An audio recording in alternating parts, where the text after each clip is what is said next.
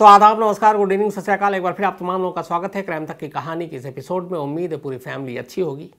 इसी कहानी के एपिसोड में बहुत पहले मैंने एक कहानी सुनाई थी आपको, ऑपरेशन थंडर बोल्ट ये किसी हाईजैकिंग के हिस्ट्री में, अपने आप में एक नायाब कहानी थी। एक नायाब ऑपरेशन था कि कोई एक देश, दूसरे देश में घुसकर बाकायदा प्लेन से अपने कमांडो, अपने जासूसों को भेजता है। और कैसे वहाँ से अपने लोगों को जिनको हाईजेक करके एयरपोर्ट पर रखा गया था, उनको छुड़ा कर ले जाता है। कैसे प्लेन कितनी कम ऊंचाई पर उड़ती है, कैसे वहाँ की आर्मी को धोखा दिया जाता है और फिर बंधकों को बिना खून खराबे के छुड़ा कर ले जाते हैं। ये सब कुछ हुआ था।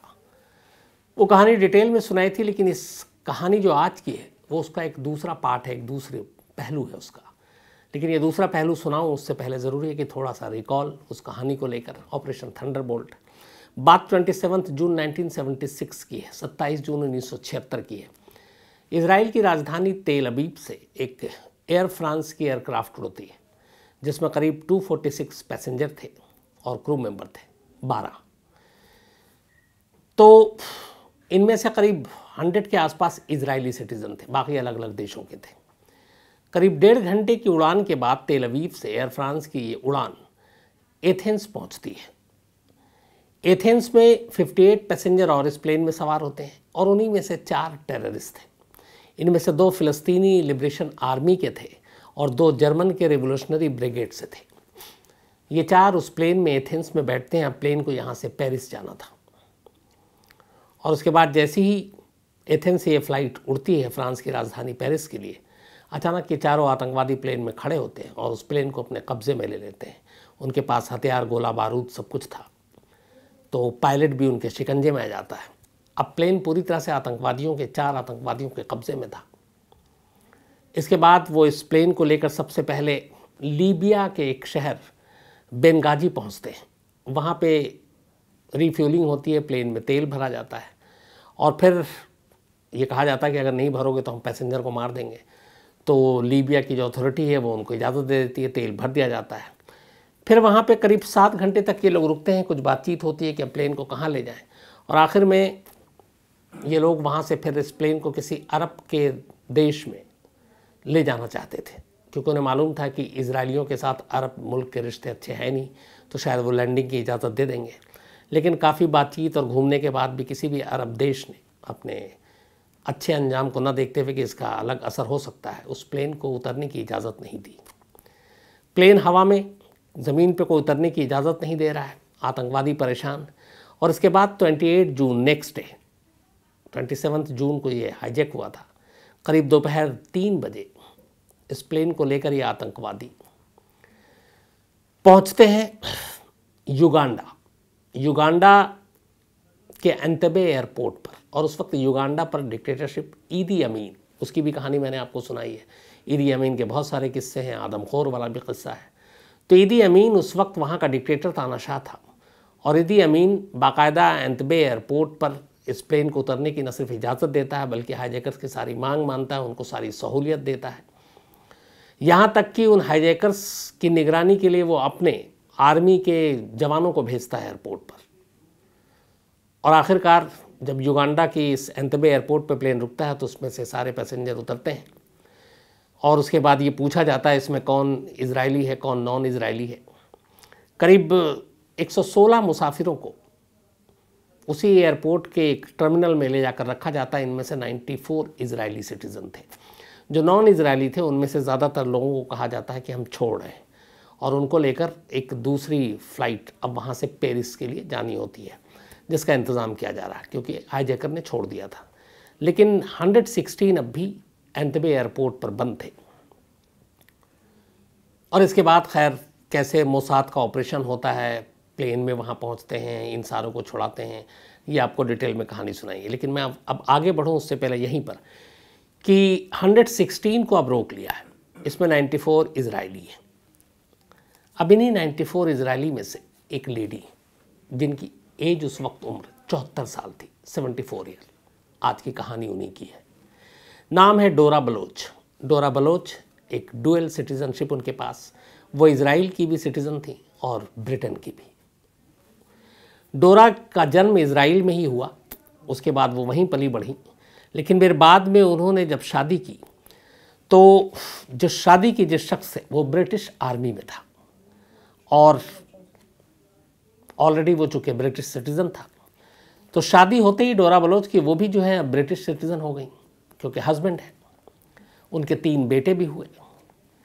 डोरा बलोच की खासियत ये थी कि डोरा बलोच एक पढ़ी लिखी और कई भाषा, कई ज़ुबान जानने वाली थी। वो बड़ी ही फराटेदार हिब्रू बोलती थी Israeli language, Arabic, Russian, German, Italian, English, ये सारी ज़ुबानें, आठ दस ज़ुबानें उनकी धारा प्रवाह बोलती थी। तो जब एंतबे एयरपोर्ट पर यह प्लेन रुका, उसके बाद 116 लोगों को अलग टर्मिनल पर ले जाया गया। उनमें से एक डोरा बलोच भी थी। डोरा बलोच दरअसल तेल अवीव से उड़ी थी, उनको न्यूयॉर्क जाना था। उनके छोटे बेटे की शादी थी न्यूयॉर्क और इसीलिए वो न्यूयॉर्क जा रही थी अमेरिका। लेकिन पता नहीं था कि बीच में टेररिस्ट आएँगे, प्लेन हाईजेक हो जाएगा, प्लेन हाईजेक हो गया। और अब वो युगांडा में एंतबे एयरपोर्ट पर रहे। जो टेररिस्ट थे, वो ज़्यादातर अरबी बोल रहे थे और बाकी उन्हें इंग्लिश उतनी अच्छी आती नहीं थी। अब युगांडा के लोगों से, उनकी आर्मी से बात कौन करे? तो पूछा गया। तो उसमें डोरा बलोच, एक इंटरप्रेटर के तौर पर सामने आई। उन्होंने कहा कि हमें कई ज़ुबान आती है। तो फिर उन्होंने बातचीत की। जो हाईजेकर की मांग थी, वो मांग, बाकी जो चीज़ें थी, खाना, पीने का सामान अंदर भेजना, ये, वो।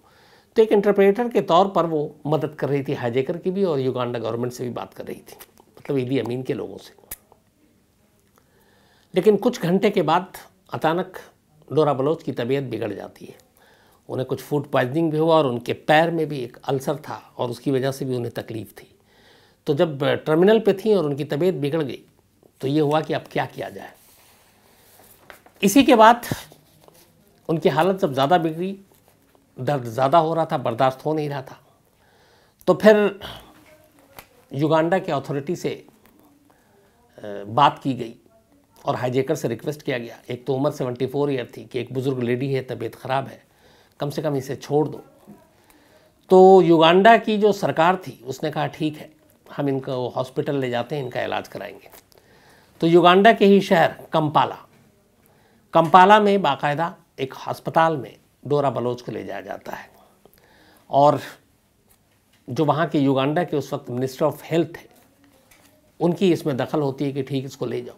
अब वहाँ पे उनका इलाज शुरू होता है। इस दौरान में वो हॉस्पिटल पहुँच गए, इलाज चल रहा है। इधर तेल अवीब में प्लानिंग हो रही है हॉस्टेज को छुड़ाने की। आखिरकार मोसाद सारी चीज़ें तैयारी करता है टर्मिनल का नक्शा सारी चीज़ें थी। इसके बाद प्लेन में वहाँ पे कमांडोज पहुँचते हैं रात के अंधेरे में। जो प्लेन था, उसके अंदर वो एक काली रंग की मर्सिडीज़ में भी आते हैं क्योंकि ईदी अमीन उसको यूज़ करता था। लेकिन वहाँ पता चला कि ईदी अमीन तो शहर में उस दिन है नहीं और अब वो सफ़ेद मर्सिडीज़ यूज़ कर रहा है तो वो पकड़े गए। तब तक शक हो गया वहाँ पर युगांडा की आर्मी को, फिर फायरिंग होती है। लेकिन कुल मिलाकर मोसाद और उनकी टीम इसराइली आर्मी की अपने सारे बंधकों को छुड़ा लेती है और इस लड़ाई में तीन बंधक मारे जाते हैं। लेकिन युगांडा आर्मी के करीब पचास जवानों की मौत हो जाती है। सारे बंधकों को प्लेन में बिठाकर वहाँ से मोसाद और इसराइली आदमी निकलती है और जाते जाते रनवे पे जितने भी फाइटर प्लेन और बाकी प्लेन थे युगांडा के, वो उनको बम से उड़ा देती है। तो रात को ये खामोशी से ऑपरेशन हुआ। युगांडा की बड़ी किरकिरी हुई और इसराइल की पूरी दुनिया ने तारीफ़ की कि कैसे दूसरे देश में घुस उसने ऑपरेशन किया और अपने लोगों को बचाया। ये कहानी का एक पार्ट था। अब इधर दूसरा पार्ट उसी प्लेन से निकली एक डुअल सिटीज़न जो इसराइल की भी है ब्रिटेन की भी है। वो युगांडा में ही एक अस्पताल में उसका इलाज चल रहा है, डोरा बलोच। अब जब ये लोग पहुँचे और उधर जो जिन लोगों को पहले छोड़ दिया गया था, उनको भी पेरिस ले जाया गया, अब गिनती हुई, और जिनको बचाया गया, वहाँ ले जाकर गिनती हुई तो पता चला कि सारे हैं। लेकिन डोरा बलोच के बेटे को मालूम था कि उनकी माँ भी उसी फ़्लाइट में है। अब वो लिस्ट देख रहे हैं, उनकी माँ का नाम कहीं नहीं है। और वो परेशान, फिर पता चला कि वो हॉस्पिटल में है। तो युगांडा में उन्होंने फ़ोन किया, उस हॉस्पिटल का नंबर लिया, डॉक्टर से बात की, डॉक्टर ने कहा उनकी ऐसी ऐसी प्रॉब्लम थी, लेकिन अभी वो ठीक है। फिर उसने इसराइली अपने ऑफिशल्स को बताया कि मेरी माँ इस प्लेन में यहाँ नहीं पहुँची है, और वो युगांडा में ही रह गई है। युगांडा अगले दिन जब ये सारा ऑपरेशन हो गया था, उसकी ऑलरेडी किरकिरी हो चुकी थी, ईदी अमीन को बड़ा धक्का लगा था, क्योंकि ये उसकी करारी शिकस्त थी। अब इधर आया कि सब तो आ गए, एक उस प्लेन में जो थी होस्टेज डोरा बलोच, वो नहीं पहुँची। है फिर पता चला कि वो दोहरी नागरिकता है उसके पास, इसराइल की भी है और ब्रिटेन की भी है। अब ब्रिटेन को भी ये बात पता चली। अब ब्रिटेन ने कदम उठाया क्योंकि वो उनकी वाइफ थी, जो ब्रिटिश आर्मी में रहा, हालाँकि उनके पति की डेथ हो चुकी थी। ब्रिटेन ने अब अपने हाई कमिश्नर युगांडा में उनसे संपर्क किया और कहा कि डोरा बलोच के बारे में आप पता कीजिए। जो उस वक्त उनके हाई कमिश्नर थे, मिस्टर एक तो जेम्स हैनिसी और दूसरे जो थे एक second secretary British High Commission में, कंपाला में, पीटर। इन दोनों को कहा गया। तो इन दोनों ने जब पता किया, वहाँ के हेल्थ मिनिस्टर से पता चला कि हाँ कंपाला के एक हॉस्पिटल में डोरा बलोच के लाया गया और वो वहीं है। अब ब्रिटिश हाई कमीशन के कमिश्न हाई कमिश्नर और सेकंड सेक्रेटरी हॉस्पिटल पहुँचते हैं। वहाँ जाते हैं, बाकायदा इजाज़त थी। हेल्थ मिनिस्टर की तरफ़ से। हॉस्पिटल में उन्हें डोरा बलोच मिलती है। डोरा बलोच से उनकी खैरियत पूछते हैं, बताते हैं कि अब ठीक है। वो कहते हैं कि कुछ परेशानी उन्होंने कहा नहीं लोगों ने अच्छे से इलाज किया, उनके साथ अच्छा बर्ताव किया। पर उन्होंने कहा कि उन्हें यहाँ का खाना पसंद नहीं है। खाना अच्छा नहीं लग रहा है। उन्होंने कहा, ठीक है, हम कुछ करते हैं। ब्रिटिश हाई कमिश्नर वहाँ से निकलते हैं। उसके बाद अपनी टीम को कहते हैं कि इस हॉस्पिटल में डोरा बलोच के लिए कुछ अच्छा खाना भिजवा दो। फिर डॉक्टर से ये भी बात करते हैं कि जब तक इनके भेजने का इंतज़ाम नहीं हो इनको एक वहीं के एक अच्छे होटल में शिफ्ट कर दिया जाए, क्योंकि अब उनकी तबीयत ठीक हो रही थी। कुछ घंटे के बाद, ब्रिटिश हाई कमिश्नर और उनकी टीम के लौटने के बाद, अब डोरा बलोच के लिए एक अच्छे होटल से खाना पैक कराया जाता है और उस खाने को लेकर ब्रिटिश हाई कमीशन के कुछ स्टाफ हॉस्पिटल पहुँचते हैं। लेकिन जब वो हॉस्पिटल पहुँचते हैं, अब दूसरी बार कुछ घंटे बाद तो हॉस्पिटल के बाहर देखते हैं कि बहुत सारी वहाँ पे पुलिस भी है और युगांडा आर्मी के लोग भी हैं। वो अंदर जाना चाहते हैं, डोरा बलोच को खाना देने, वो लोग मना कर देते हैं। कहते हैं, आप अंदर नहीं जा सकते। वो कहते हैं, हम लोग ब्रिटिश हाई कमीशन से हैं। वो कहते हैं, फिर भी आप नहीं जा सकते खाना देने के लिए। उन्हें मिलने नहीं दिया था। वो वापस लौट आते हैं।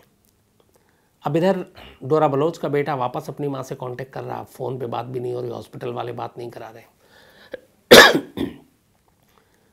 उधर जब गिनती हुई तो पता चला डोरा बलोच है नहीं, जो लोग लौट कर आए। अब ऐसी सूरत में डोला बलोच को ढूंढना है। फिर से ब्रिटिश हाई कमीशन अपनी तरफ़ से कोशिश करती है। लेकिन वहाँ की सरकार अथॉरिटी अस्पताल, प्रशासन, पुलिस कोई मदद नहीं करता। अचानक डोरा बलोच गायब हो जाती हैं। उसी हॉस्पिटल से जहाँ से उनका इलाज हो रहा था। तो डोरा बलोच गायब हैं, कहीं से खबर नहीं मिल रही और इसी दौरान में अचानक अगले दिन एक चश्मदीद ब्रिटिश हाई कमीशन को बताता है कि उसने अपनी आँखों से देखा है कि युगांडा की जो आर्मी है, उसने डोरा बलोच को गोली मारी और इसके बाद उनकी लाश को वहाँ से ले गए और उसने कहा कि उनकी लाश करीब वहाँ से 18 किलोमीटर दूर कहीं फेंक दिया गया। अब उसने कहा, लेकिन इसके कोई सबूत नहीं, प्रूफ नहीं। अब इस मुद्दे को ब्रिटिश हाई कमीशन ने फिर उठाया अपने तरीके से बात करने की कोशिश की। लेकिन युगांडा का जवाब था कि डोरा बलोच नहीं, हॉस्पिटल में उनका इलाज हुआ, उसके बाद हमने उनको भेज दिया एयरपोर्ट और वो अब चली गई और ये हमारी ज़िम्मेदारी भी नहीं है। इस हॉस्पिटल ऑपरेशन थंडरबोल्ट के बाद वैसे भी युगांडा और ईदी अमीन बहुत गुस्से में था। मामला यूएन में भी उठा था। तो युगांडा लगातार ये कहता रहा कि हमें कोई पता नहीं और डोरा बलोच यहाँ से जा चुकी है और हमने हवाले कर दिया और हमारा उससे कोई लेना देना नहीं। लेकिन इधर ब्रिटिश हाई कमीशन ने अपने तरीके से जब जाँच की तो पता चला कि वाकई डोरा बलोच गायब है और शायद मार दिया गया है। तो फिर ब्रिटेन ने बाकायदा कहा कि बलोच को या तो तलाश करो या फिर उनकी लाश को तलाश करो। लेकिन दोनों चीज़ें नहीं मिल रही थी और इस दौरान में ईदी अमीन ने ब्रिटिश हाई कमीशन के सेकंड सेक्रेटरी को वहाँ से एक्सपेल कर दिया। उसने कहा कि ये इसराइल के सपोर्ट में बातें करता है और हमारी जो पचास लोग मारे गए, उस ऑपरेशन थंडरबोल्ट ऑपरेशन में इसराइल के हाथों, ये उन पचास लोगों के ख़िलाफ़ भी बोल रहा है। तो उसने एक्सपेल कर दिया अपने देश से। अब इधर बलोच मिल नहीं रही, न लाश मिल रही है। ब्रिटेन को भी गुस्सा आया। उसने पहली बार युगांडा के साथ अपने राजनयिक संबंध तोड़ दिए उसने अपने ब्रिटेन जो ब्रिटिश हाई कमिश्नर थे युगांडा में, उनको वापस बुला लिया, एम्बेसी बंद कर दी। और साथ ही युगांडा के भी जो लोग थे, उनको वहाँ से वापस भेज दिया। और एक तरह से पूरी तरह से रिश्ता ख़त्म कर दिया लेकिन बलोच की तलाश जारी रखी अलग अलग लेवल से। उधर इसराइल भी कोशिश करता रहा, लेकिन कोई जानकारी मिली नहीं। इस दौरान में हुआ ये कि ये 1976 की बात है पूरी कहानी, तीन साल बीत गए। तीन साल के बाद अब युगांडा और तंजानिया के बीच जंग शुरू हो गई और तंजानिया की फ़ौज युगांडा के अंदर घुस गई और यहीं से ईदी अमीन का ख़ात्मा हो गया। ईदी अमीन की सत्ता चली गई 1979 में। और जब तंजानिया की फ़ौज पहुँची युगांडा में तो इसी कंपाला के पास तंजानिया की सेना ने, उन्हें भी पता था सब कुछ। जिस हॉस्पिटल में डोरा बलोच का इलाज चल रहा था, उससे ठीक 18 किलोमीटर दूर एक गन्ने का खेत था। वहाँ एक लेडी की लाश मिली। चेहरा बुरी तरह जला हुआ बाकी कुछ था नहीं, सिर्फ़ हड्डियाँ बची थी। तो उस गोली सर पे मारी गई थी। तो ये कहा गया कि ये लाश जो है, ये डोरा बलोच की है। तीन साल के बाद 76 में वो गायब हुई थी 79 में जब तंजानिया, युगांडा में घुसता है और उसके बाद वो इस लाश को ढूंढता है, उनकी फ़ौज। और उसके बाद ये बताया जाता है। तो जब ये पता चलता है तो फिर इसराइल और ब्रिटेन दोनों एक्टिव होते हैं। अब लेकिन लाश की पहचान कैसे हो? क्योंकि चेहरा जानने लायक था नहीं। लेकिन फिर उनके बेटे को ये कुछ तस्वीरें दिखाई जाती हैं और जो पैर में जिस जगह पे अल्सर का ज़ख्म था, वो निशान एक तरह सा मार्क था। वो देख के पहचान जाता। इसके बाद फिर बाकी फॉरेंसिक जाँच होती है और ये क्लियर हो जाता है कि ये लाश असल में बलोच का ही है। जब ये पता चल जाता है तो फिर उनके जो बाकी जो भी बचे हुए थे, वो सारे हिस्से को इसराइल भेजा जाता है। और तेल अवीब में इसराइल की राजधानी में बाकायदा पूरे राजकीय सम्मान के साथ तीन साल के बाद मौत के डोरा बलोच का अंतिम संस्कार किया जाता है, उन्हें दफनाया जाता है, तीन साल के बाद। इस दौरान में ब्रिटेन अब युगांडा के साथ फिर से रिश्ते कायम हुए और उसके बाद उन्होंने अपनी पूरी जाँच की। 2007 फरवरी में ब्रिटेन ने एक अपनी डी क्लासीफाइड डॉक्यूमेंट्स जारी किया। उस डॉक्यूमेंट्स में बाकायदा इस पूरे घटना के बारे में ज़िक्र किया गया। उसमें कहा गया, इस पूरे डोरा बलोच के गायब और उनकी मौत को लेकर, कि जब डोरा बलोच के अस्पताल इलाज के लिए ले जाया गया, तब तक वहाँ डॉक्टर और सारे प्रशासन, पुलिस, बहुत अच्छा व्यवहार उनके साथ कर रहा था, सब चौहत्तर साल की बुज़ुर्ग थी। लेकिन इस दौरान में ऑपरेशन थंडरबोल्ट हुआ। युगांडा आर्मी के पचास लोग मारे गए। ईदी अमीन बहुत गुस्से में था। बंधकों को छोड़ाकर उसके नाक के नीचे से ले जाया गया। पूरी दुनिया में इसराइल की तारीफ़ हो रही थी। ईदी अमीन को लगा कि ये क्या हो रहा है। इसी दौरान में उसे पता चला कि एक इसराइली जो ड्यूअल सिटीजनशिप है जिसके पास और ब्रिटिश भी है, पर उसे ब्रिटिश से मतलब नहीं था उसे था कि इसराइली है ये। उसका हॉस्पिटल में इलाज चल रहा है। ईदी अमीन को बहुत गुस्सा आया। उसने अपने जो लॉयल आर्मी के लोग थे, उनको उस हॉस्पिटल में भेजा और कहा, जाकर उस लेडी को मार दो। जिस दिन ब्रिटिश हाई कमीशन के लोग उससे मिलने गए थे डोरा बलोच से, जब उन्होंने कहा था कि खाने, खाना ठीक नहीं है, फिर उन्होंने खाना लेकर भेजा। उसी दौरान में अगले तीन घंटे के अंदर अंदर ईदी अमीन के आदेश पर, ईदी अमीन के हुक्म पर हॉस्पिटल में घुसकर युगांडा की आर्मी ने डोरा बलोच को सर में गोली मारी थी। गोली मारने के बाद उनकी लाश को, जो वहाँ की खुफिया पुलिस है, ईदी अमीन की, उसी की एक गाड़ी के डिक्की में लाश को रखा गया। और कंपाला में उस हॉस्पिटल से करीब 18 किलोमीटर दूर ले जाकर लाश फेंक दिया गया। और कभी इसको बताया नहीं गया और हमेशा मना किया गया। लेकिन ईदी अमीन के ख़ात्मे के बाद, इस हादसे के तीन साल के बाद आखिरकार डोरा बलोच की मौत का सच सामने आया, उनकी लाश मिली। लेकिन वो कहानी है ये, जो ऑपरेशन थंडरबोल्ट एक कामयाब ऑपरेशन था। लेकिन डोरा बलोच को बचाया नहीं जा सका, जो कि इस पूरे ऑपरेशन में एक तरफ़ बीच में इंटरप्रेटर का काम कर रही थी और उनकी अफसोसनाक मौत हुई। लेकिन आखिर में राजकीय पूरे एकदम फुल स्टेट ऑनर के साथ तेल अवीब में उनको विदाई दी गई थी। तो ये थी कहानी डोरा बलोच की। अब कहानी ख़त्म करूँ, उससे पहले वही सिलसिला। आज विनीत राज जी का जन्मदिन है हैप्पी बर्थडे विनीत छत्तीसगढ़ से हैं ये। इसके अलावा राजू रविदास और ये रामगढ़ से हैं, इंजीनियर हैं, इनका भी जन्मदिन है। Happy birthday Raju, Ram, Ravidas ji. Amol Sane, इनका भी आज जन्मदिन है तो हैप्पी बर्थडे अमोल। और ये जालना महाराज से हैं। पूरन बाजिया और इनकी बेटी कृतिका बाजिया। दोनों बाप बेटी का जन्मदिन एक ही होता है, कितना अच्छा लगता होगा। तो आप दोनों को बहुत बहुत जन्मदिन की बधाई। और ये यूएई में है। इसके अलावा अर्जुन परमार की पत्नी पायल परमार जी का भी जन्मदिन है तो हैप्पी बर्थडे पायल जी। चांदनी राणा, इनका भी जन्मदिन है तो हैप्पी बर्थडे चांदनी राणा जी। और मनमोहन राणा जी ने भेजा है, इनकी पत्नी है चंडीगढ़ से। हनी अफसाना हाशमी, इनका भी आज जन्मदिन है हैप्पी बर्थडे अफसाना जी। और मोहम्मद हाशमी, इनके वाइफ हस्बैंड हैं, उन्होंने भेजा है। इसके अलावा डाला राम सनीवाल, इनका भी जन्मदिन है तो हैप्पी बर्थडे डाला राम जी। अनुभव अनुभव भौमिक इनका भी आज जन्मदिन है तो हैप्पी बर्थडे अनुभव भौमिक और जोईता दत्ता हैं, इनकी माँ हैं, और उन्होंने भेजा है। तो अगेन हैप्पी बर्थडे अनुभव। दामनी अजिंक्य सोलंकी, इनका भी आज जन्मदिन है तो हैप्पी बर्थडे दामनी जी। और अजिंक्य सोलंकी जी ने भेजा है, इनकी पत्नी है ये। शिवांश तिवारी, इनका भी आज जन्मदिन है तो हैप्पी बर्थडे शिवांश। आदर्श तिवारी जी ने भेजा है। और डॉक्टर प्रशांत यादव, इनका भी जन्मदिन है happy birthday, doctor Prashant Yadav ji. Pranjal Singh ji ने भेजा है। इन्होंने कुछ और भी लिखा था, एक कोई इन्होंने कुछ पढ़ा, जिसमें रूमी और शम्स नाम के दो कैरेक्टर हैं। मौका मिलेगा तो मैं ज़रूर पढ़ूँगा, Pranjal ji. Thank you very much आपके मेल के लिए। इसके अलावा आदर्श दीवान और निकेत अग्रवाल आज इनकी एनिवर्सरी है तो आप दोनों को बहुत बहुत बधाई। प्रियंका कालरा जी लिखती हैं कि अगर कोर्ट में कोई मामला डिले होता है, फैसला आने में टाइम लगता है तो क्या मीडिया इंसाफ नहीं दिला सकती? मीडिया की अपनी एक सीमा होती है। कई बार ये होता है कि कई चीज़ों में अगर प्रेशर बनता है तो कुछ चीज़ें जल्दी हो जाती हैं।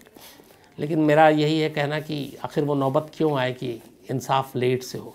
हमारे जुडिशल सिस्टम में बहुत सारे सुधार की ज़रूरत है। देखिए कब सुधार होता है। संदीप गायकवाड़ जी हैं, औरंगाबाद अभी इन्होंने शिफ्ट किया। पहले नागपुर में थे तो इन्होंने कहा अकेले हैं, लेकिन कहानी साथ देती है। Thank you very much ji, Sandeep साहब। हेमंत गर्ग हैं, भटिंडा से। थैंक यू और इन्होंने कुछ शेयर भी भेजा था। मोहम्मद अनीश हैं, इसके अलावा प्रवीण कुमार सिंह हैं, सोनभद्र से कुछ स्टोरी की फरमाइश की है। प्रतीक जाधव जी हैं, अनिल राजेश चौहान हैं सूरत से, माउंट एवरेस्ट की कहानी सुनना चाहते हैं। इसके अलावा तोहीद मिर्ज़ा हैं लखीमपुर खीरी, वहाँ की कोई कहानी सुनना चाहते हैं। इसके अलावा समिष्ठा दास गुप्ता जी हैं और इनके हस्बैंड समुज्वल दास गुप्ता जी भी जर्नलिस्ट हैं। और ये अब पीएचडी करना चाहती हैं क्रिमिनल साइकोलॉजी पे all the best Samista ji. और अमित कुशवाहा जी हैं। तो आप तमाम लोगों के मेल का और जो कहानियाँ आपने फरमाइश की हैं, वो जल्दी पूरी होगी। इसी दुआ के साथ आज कहानी में इतना ही। अब आपसे मुलाकात होगी कल रात नौ बजे किसी नई कहानी के साथ। तब तक अपना ख्याल रखिएगा। Thank you very much